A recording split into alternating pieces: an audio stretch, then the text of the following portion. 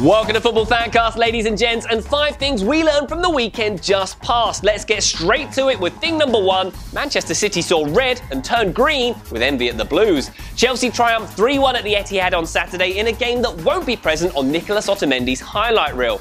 You better pray you're never that bad again, Nick. Sergio Aguero saw red for an attempt to win the ball from David Luiz's cruciate ligament, and Fernandinho also marched for practicing his Vulcan death grip on Cesc Fabregas.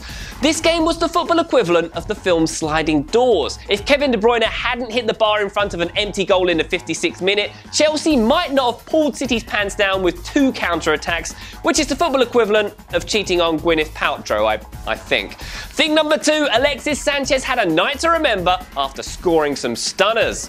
Yeah, that's not what I meant. I meant the Chilean got a hat trick and an assist against the West Ham team that crumbled quicker than Upton Park. Sorry, Hammers fans, you definitely can't go back there, I promise.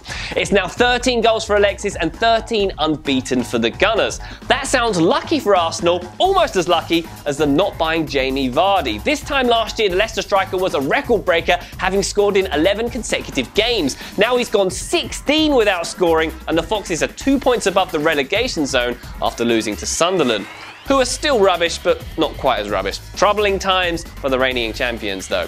Thing number four Bournemouth must have been listening to Journey because they didn't stop believing when they were 3 1 down to Liverpool. They came back to win 4 3 and stun the title hopefuls. It was the greatest 4 3 comeback since the one that happened a few hours earlier when the mighty AFC Wimbledon were 3 0 down to Curzon Ashton in the 80th minute of their FA Cup tie and they won 4 3. It's amazing enough to make you want to Google where Curzon Ashton actually is. And finally, thing number five it was the 231st Classico on Saturday, and there were probably 231 more interesting things you could have done than watch it. And you couldn't watch it live in the UK anyway, thanks to the man. It had a last minute dramatic equaliser, but it was a scrappy mess otherwise. The Premier League, meanwhile, had loads of brilliant games, loads of brilliant goals. Best league in the world.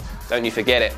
All right, that's it for now. Give us your thoughts at Football Fancast on Twitter. Thanks so much for watching. Love to your mothers. See you next time.